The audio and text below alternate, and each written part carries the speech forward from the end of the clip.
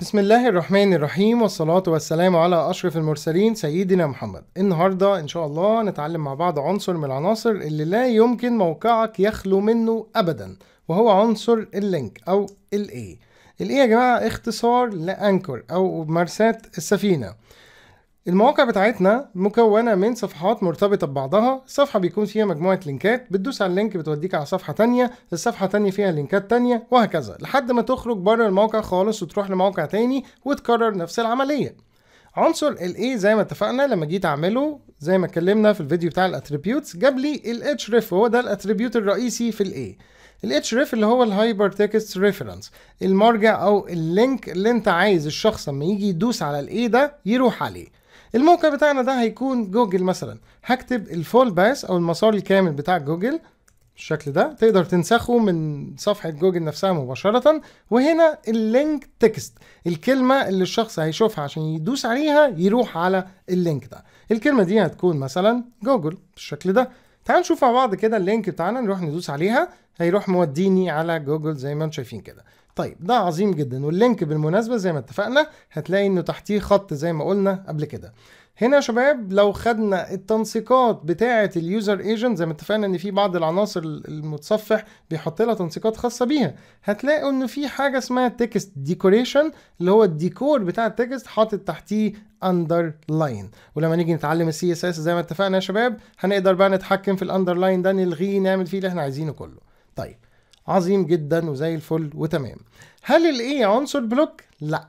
ال A عنصر inline عشان تتأكد هناخد منه نسخة ونكتب هنا بدل جوجل هنكتب فيسبوك وهنا هنكتب نفس القصة فيسبوك كده بقى عندنا لينكين. لو ال link ده وال link ده عناصر block كنت هتلاقي واحد فيهم في سطر والتاني في السطر اللي بعده. لكن دول عناصر inline فهيجوا جنب بعض زي ما أنتم شايفين كده. عشان دي عناصر inline طيب ده كلام عظيم وجميل واللينكات كده إحنا يعني تقريبا فهمنا الفكرة العامة بتاعتها. عايزين بس إيه شوية تجارب. عندنا في ال a بتاعنا عندنا attribute مهم جدا اسمه target target بيساوي ونبدأ نحط جواه القيم اللي إحنا عايزينها. في قيم كتير في ممكن أسيبك تبحث عنها وهدي لك القيمة اللي انت هتحتاجها كتير جدا واللي كتير هتستخدمها اللي هي ال blank. لو كتبت هنا blank في ال في ال target attribute معناه إن الصفحة دي هتفتح في صفحة جديدة. الله لحظة واحدة عشان أفهم يعني إيه هتفتح في صفحة جديدة. الأول يا شباب قبل ما أنا أكتب دي كده خلينا نعملها بالشكل ده ونعمل كده. جوجل فتح فين؟ في نفس ال window اللي أنت موجود فيها في نفس ال tab. طيب لو أنا عملت كده ال target blank معناها إنه لو دوست على جوجل link دي هتفتح في صفحة جديدة ودي مهمة جدا لإنه الناس بتبقى محتاجة إن أنت تحط له لينكات تدوس عليها تفتح في صفحة جديدة عشان ما تبوظش اللي هو هنا موجود فيه ممكن قاعد بيقرأ مقال أو بيدفع ممكن قاعد بيدفع بيدفع فعلا ثمن المنتج وأنت فتحت الحاجة في نفس الصفحة ضيعت له الشغل بتاعه عشان كده لازم تكون عارف ال target attribute طيب ده كلام عظيم وجميل ومفيش فيه مشكلة خالص وفي عندنا كده شوية معلومات وناخد بالمرة واحد من ال global attributes الموجودة زي ما اتفقنا على جميع العناصر وهو اسمه title title بيعمل إيه؟ ده عبارة عن title لل link خليني أقول له go to جوجل بس وهنا هقول له go to فيسبوك ده عبارة عن title هنا بيحصل إيه لما اكتب ال title ده؟ بتروح على ال link كده تقف عليها شوية يقول لك إيه؟ go to فيسبوك حاجة كده عاملة زي ال tooltip ممكن تضيف فيها شوية كلمات قبل ما الشخص يدوس تبقى عايز مثلا تنبهه لحاجة معينة أو كده. طيب عندنا يا شباب ال a ممكن يوديك على link زي كده وممكن يوديك على صفحة موجودة عندك. يعني أنا لو عندي صفحة تانية اسمها مثلا test.html جنب دي فممكن أقول له test.html يروح موديني على الصفحة. تعالوا مع بعض كده ناخد نسخة من الصفحة دي كلها ونعمل صفحة اسمها test وأدوس أشوف هيوديني عليها ولا لأ. أنا كده عملت الصفحة test.html وهكتب go to test page وهنا هكتب test بس جنبهم. نروح مع بعض كده أدي جوجل فيسبوك test دوست على test وداني على صفحة اسمها test dot html وأدي الصفحة وهرجع back تاني عادي. يبقى نقدر نحط المسار الكامل الخاص بموقع أو اسم الصفحة اللي إحنا محتاجين نروح لها بالشكل ده. عندنا ال a ممكن يوديك على فقرة في نفس الصفحة بتاعتك عن طريق إن أنت تحدد للفقرة دي id واحد من ال global attribute وتدوس على ال link فيوديك على الصفحة دي. تعالوا مع بعض نشوف الفكرة دي. بس المرة دي هكتب paragraph كبير جدا مليان نصوص عشان نملى الصفحة ونطولها. عندنا دلوقتي كلمة lorem. لو دوست tab بتكتب لك السطور الكتير دي اللي هي بيسموها أبجد هوز وهكذا.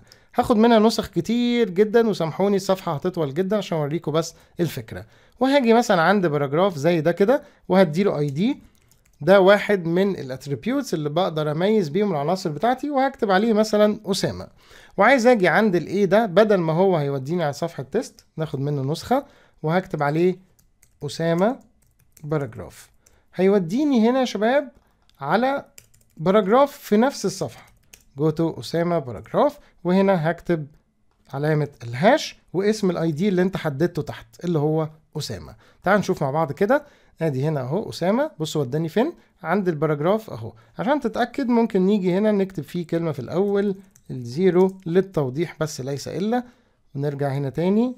نعمل ال zoom بتاعنا بالشكل ده. وندوس على أسامة. جاب لي ال zero lorem وهكذا. حلو ندوس على أسامة دي. طيب عندنا حاجة أخيرة في ال paragraph بتاعنا أو نشيل ال paragraphs دي إحنا بس جربنا عليها. عندنا حاجة هنا تاني مهمة جدا في ال link وهو إنه ال link ممكن يوديك على إيميل. يعني ال href دي بدل ما تكتب فيها link هتكتب mail هنا to وتكتب هنا إيميل الشخص. o at nn.sa ده مثلا إيميل. وهكتب contact me أو mail me مثلا لو عايز يعني براحتك. contact me وهاجي هنا دلوقتي هشيك على ال mail. لو جو لو دوست دلوقتي contact me هيفتح لي ال email application بتاعي عشان ا contact الشخص ده. وأول ما يفتح ال mail هيحط في خانة ال to ال email اللي إحنا ضفناه دلوقتي ده عشان تبقى حاجة سريعة جدا كده عشان يخلي الشخص يراسل الشخص صاحب الموقع مباشرة.